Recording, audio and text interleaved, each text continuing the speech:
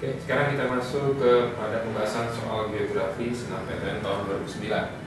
Oke, nomor satu, aktivitas pertanian sangat bergantung pada berbagai faktor, yaitu fisik, iklim, tanah, dan ketinggian, sosial dan latar belakang budaya, teknologi, ekonomi, dan kepemilikan modal, seperti kebijakan pemerintahan suatu daerah.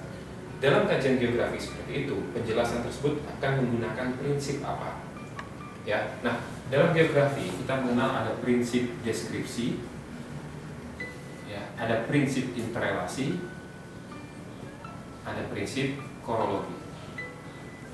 Nah, manakah prinsip yang kita gunakan kalau kita punya kasus seperti soal nomor satu?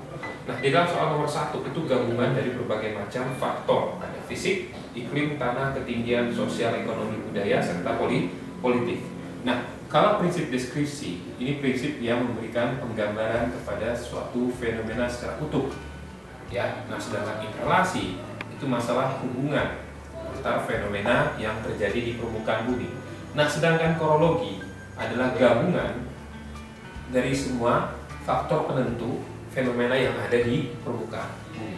Nah, prinsip inilah yang bisa menjawab soal nomor satu itu kita menggunakan prinsip kronologi. Jadi semua aspek yang ada di permukaan bumi, baik itu fisik maupun yang non fisik, itu digabungkan agar kita bisa melihat lebih jelas fenomena geografi tersebut.